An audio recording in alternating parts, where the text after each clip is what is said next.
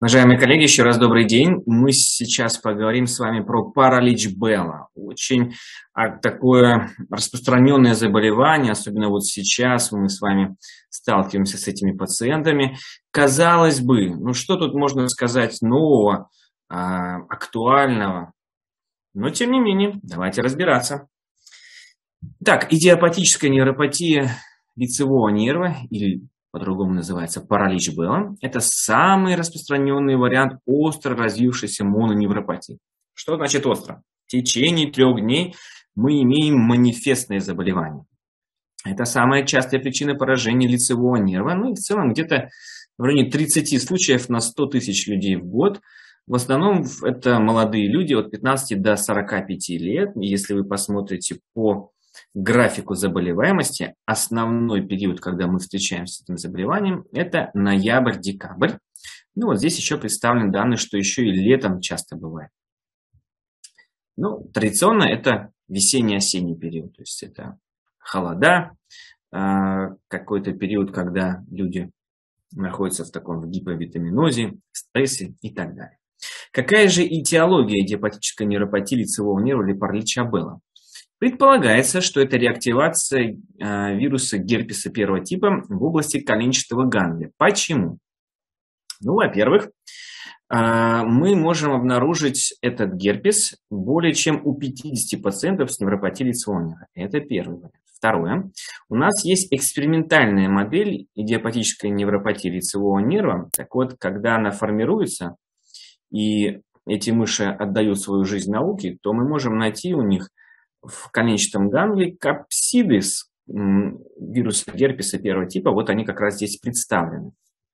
Так этот герпес реактивируется и вызывает поражение лицевого нерва сам по себе. Второе, он вызывает на себя атаку иммунной системы, и поэтому заболевание называется такое инфекционно-аллергическое.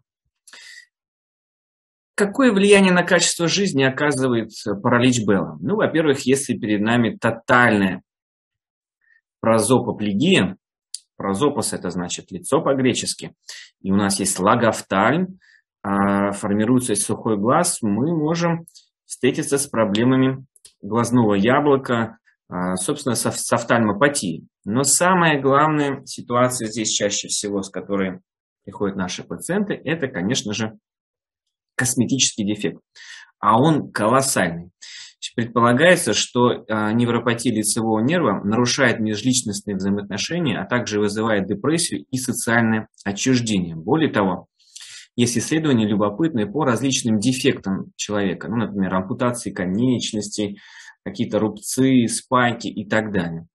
Так вот, оказывается, что люди с параличом Белла вызывают негативные эмоции у других людей, а также воспринимаются последними как непривлекательные. Поэтому действительно, особенно для женщин, это заболевание ну, доставляет очень мощный дискомфорт. Как мы лечим э, пациентов с параличом Белла? Ну, во-первых, у нас есть приказ Минздрава 2012 года об утверждении стандарта специализированной медицинской помощи. Если мы посмотрим в клинические рекомендации современные невропатии лицевого нерва, то мы ничего не найдем. Наверное, в ближайшее время она, конечно, появится. Но пока ничего нет, кроме вот этих вот стандартов и некоторых общих таких рекомендаций в различных медицинских руководствах. Если мы посмотрим на приказ, то там найдем одну молекулу, которую мы с вами сейчас будем долго обсуждать. Это эпидокрин, антихолинстеразный препарат, который используется в лечении пациентов с а, невропатией лицевого нерва. Почему мы будем ее обсуждать? Потому что до настоящего времени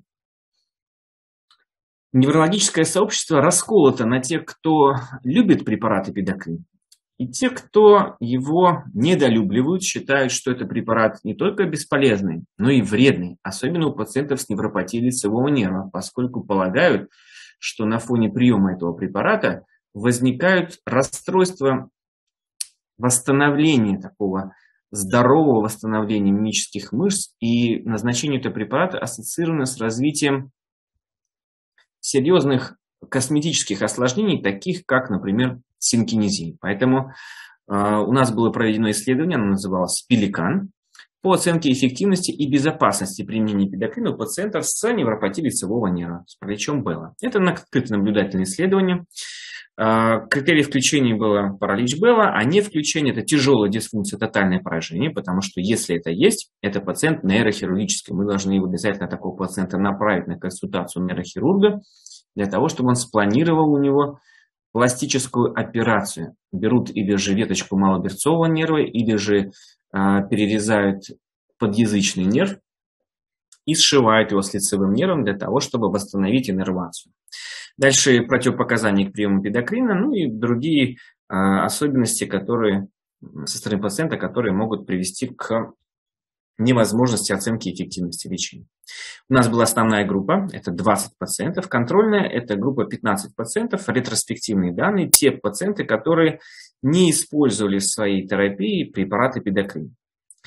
Наблюдали мы этих пациентов длительное время достаточно, и базовая терапия включала глюкокортикостероиды, витамины группы В, пентоксиферин, это то, что у нас по стандартам, и плюс еще базовая терапия и пигрис. Еще раз, основная группа принимала, в контрольной группе были 15 человек, у которых были или же противопоказания к приему эпидокрина, или те, которые решили препараты Пигрикс не принимать. Это были данные ретроспективные. Какие обследования? Ну, во-первых, классическая шкала тяжести поражения лицевого нерва Хаус-Брэкман. Дальше ваш боли. Многие пациенты с невропатией лицевого нерва говорят о том, что перед началом вот этой манифестной симптоматики они чувствуют боль в заушной области, которая иногда сопровождает их вот все течение заболевания. Дальше шкала, которая называется FACE. FACE – любопытная шкала, она оценивает функцию э, мимических мышц. НМГ, конечно, у нас был. Дальше опросник э, синкинезии, то есть тяжести и вообще наличие синкинезии. И дальше последним таким пунктом было потребность ботулинотерапии. Это достаточно важный, на наш взгляд, параметр, потому что, допустим, есть пациента какой-то вариант синкинезии. И дальше пациенту может быть абсолютно ну, безразлично. Говорит, ну да, какие-то расстройства есть, я абсолютно не имею к этому никаких претензий. Другое дело, когда пациент говорит, я хочу с этим что-то сделать, давайте думать. И тут по факту одно из таких базовых вариантов, один из базовых вариантов терапии является использование ботулинического токсина типа А. Почему эпигрикс? Это сбалансированный ингибитор ацетилхолинстераза. Вы знаете этот препарат, который э, влияет не только на холинестеразу, но и на калиевые каналы, и у этого препарата двойное действие, и центральное, и периферическое. То есть он влияет, в отличие от презрина, не только на часть а, нервно-мышечную синапса на уровне периферической нервной системы, но он влияет еще и на головной мозг. Использовали по 15 мг, 10 уколов, дальше переход на таблетки 20 мг 3 раза в день. Давайте посмотрим на общую характеристику пациентов. Итак, у нас в основном были люди в районе 35 лет, э, преимущественно женщины, стаж заболевания в районе двух дней. И помимо пареза у части из них наблюдались боль в заушной области, сухость глаза, гиперакузия или гиперакузис, как некоторые говорят, изменение вкуса, некоторые сопутствующие заболевания, такие как артериальная гипертензия, эндокринопатия и мигрень. А, наблюдали мы наших пациентов 6 месяцев. 3 месяца терапии, и дальше мы смотрели их э, в динамике через 6 месяцев. По шкале Хаус-Брэкман, что важного мы получили? Ну, важное было то, что первые три месяца никакого различия между пациентами основной и контрольной группы по факту не было. И там, и там пациенты хорошо восстанавливались. Однако, если их пос посмотреть, этих пациентов через 6 месяцев от момента дебюта заболевания, то оказывается, что средний балл по шкале Хаус-Брэкман, еще раз, эта шкала тяжесть поражения лицевого мимических мышц, тяжесть пареза и сопутствующие осложнения, то оказывается, что в основной группе больных, те пациенты, которые получали эпигрикс, у них состояние было гораздо лучше, то же самое и по шкале FACE. Что касается динамики изменения ЭНМГ коэффициентов. Здесь степень тяжести первая, вторая, третья. Первая – это очень плохая, третья – это все достаточно хорошо. Опять же, мы видим, что к шестому месяцу у нас количество пациентов с отличным исходом в основной группе было гораздо больше, чем в группе контроля. В первый месяц никаких изменений мы не видели значимых между основной и контрольной группой. Давайте посмотрим на сравнительный анализ общего балла по шкале э, САК, оценка синкинезии. Что оказалось?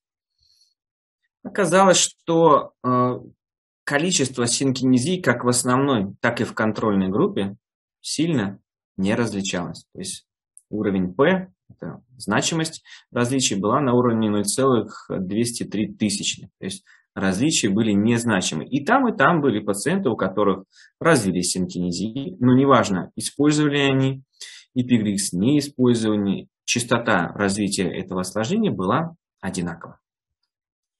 Насчет необходимости проведения ботулинотерапии. В основной группе таких пациентов было четверо, в контрольной тоже четверо. Опять же, оказывается, что между обследованием группы больных на соответствующих визитах никакого различия не было. То есть и там, и там, неважно, принимал пациент эпидокрин, не принимал, количество больных, которым показана была ботулинотерапия, как по мнению врача, так и по согласию пациента, было абсолютно одинаково.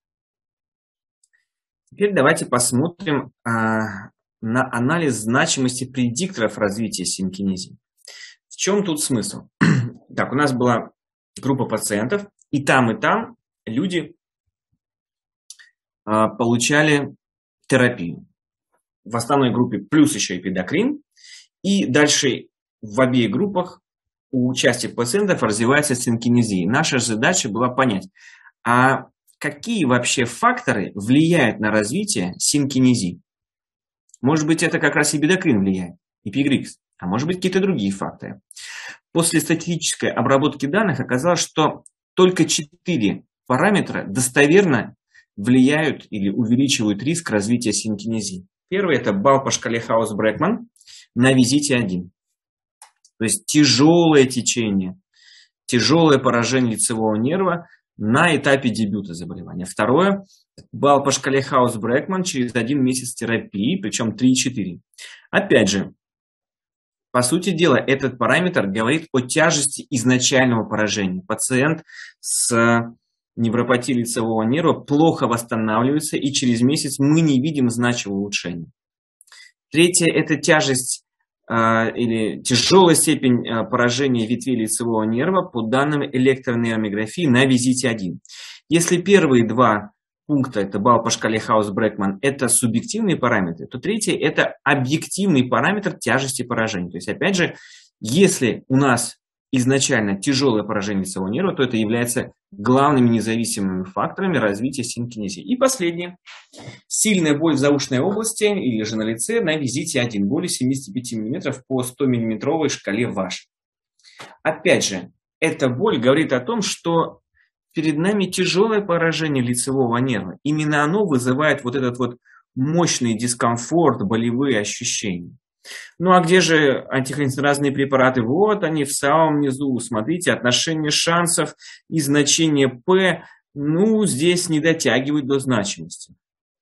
Да, может быть, это, э, там, не знаю, более значимо, чем наличие мигрени или там сахарного диабета у наших пациентов, но в то же самое время э, это не влияет на развитие синкинезии. Ну вот любопытно, смотрите, был такой параметр начала терапии более чем через 7 дней от момента дебюта тоже не оказало какого-то значимого влияния на развитие синкинезии. То есть риск синкинезии зависит от изначальной тяжести поражения лицевого нерва. Какие выводы мы можем с вами сделать? Первое. Благоприятный прогноз восстановления функции мимических мышц в подавляющем большинстве случаев. Ну, сказать, что это прям наш такой вывод, который прям супер м- актуальный, впервые там в, за всю историю исследований пациентов с лицевым нервом, это неправда. Давайте посмотрим на исследование Энгштрома. Это исследование а, опубликовано в Ланцете в 2008 году. Как раз в этом исследовании было показано, что использование глюкокортикоидов, оно благоприятно влияет на восстановление нервов. Так вот, вот в этом исследовании Энгстрема, посмотрите, вот этот рукав с преднизолоном плюс плацебо, зеленая линия. Плацебо плюс плацебо – это красная линия. А по вертикальной линии процент восстановления, причем полное восстановление лицевого нерва. Посмотрите, насколько плацебо отличается от преднизолона. Не намного, буквально там на там, 15%. То есть добавление преднизолона к терапии пациентов с лицевым нервом позволяет дополнительно восстановить буквально ну, да, в районе 15-20% функции лицевого нерва. Это говорит о том, что паралич Белла восстанавливается главным образом сам по себе. Борьба идет за людей с тяжелым поражением. Вот их нужно, тех, у которых тотальное поражение, к нейрохирургам, тех, кого к нейрохирургу не нужно, вот за них идет основная борьба, потому что остальные очень хорошо восстанавливаются сами по себе. И у нас видно, что как основная, так и контрольная группа достаточно хорошее восстановление через 6 месяцев. Второе. Эпидокрин улучшает восстановление функций мышц и улучшает качество жизни пациентов через 6 месяцев от момента начала заболевания. Действительно, если мы сравним шкалу Хаус-Брэкман, Фейс, степень тяжести по данным объективного исследования и электронейромиографии, через 6 месяцев от момента дебюта заболевания мы с вами увидим значимые различия между пациентами основной и контрольной групп. Это говорит о том, что эпигрикс наиболее показан людям как раз-таки с достаточно выраженным поражением лицевого нерва, потому что остальные восстановятся и так. Э, эффект эпидокрина, еще раз, реализуется за счет двух механизмов. Первый – это периферический.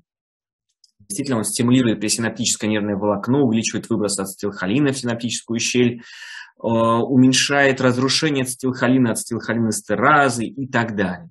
И второй центральный эффект, который был показан многими авторами, в том числе и у нас на кафедре нервной болезни было проведено исследование по а, оценки влияния молекулы эпидокрин на увеличение образования мозгового нейротрофического фактора в головном мозге, перестройки кортикальных центров в головном мозге. Вот это любопытное исследование. Оно было не по а, лицевой невропатии, не по невропатии лицевого нерва, а по посттравматической а, плечевой плексопатии. Тем не менее, оно в целом говорит о том, что головной мозг под действием эпидокрина перестраивается гораздо более эффективно, чем при естественном течении заболевания.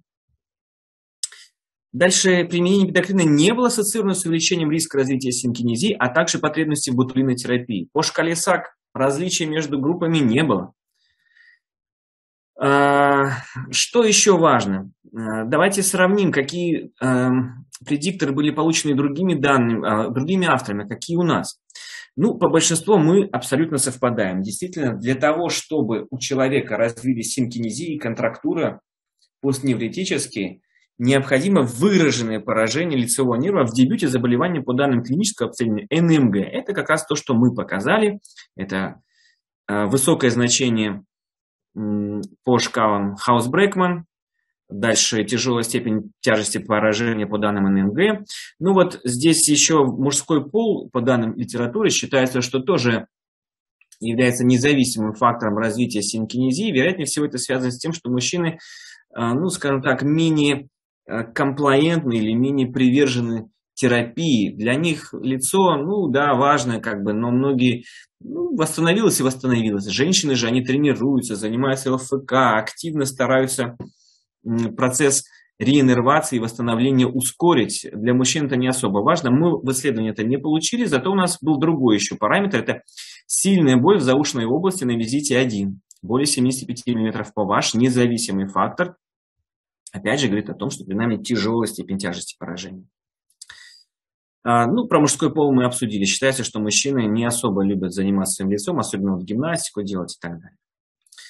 И боль заушной области, да, еще раз сакцентировать, это фактор, а, который был получен в нашем исследовании, говорящий о том, что а, более высокий риск развития синкинезии. Уважаемые коллеги, мои 20 минут подошли к концу. Надеюсь, вам было любопытно, несмотря на то, что вроде бы такое избитое заболевание, на самом деле э, невропатия лицевого нерва, паралич Белла, или как простудный паралич Белла, является ну, неким таким вызовом для специалистов. а, и несмотря на то, что оно вроде как хорошо восстанавливается, все равно вот эта борьба за оставшиеся там 15%, 20% людей, у которых тяжелое поражение, она бывает очень суровой. Спасибо большое за внимание.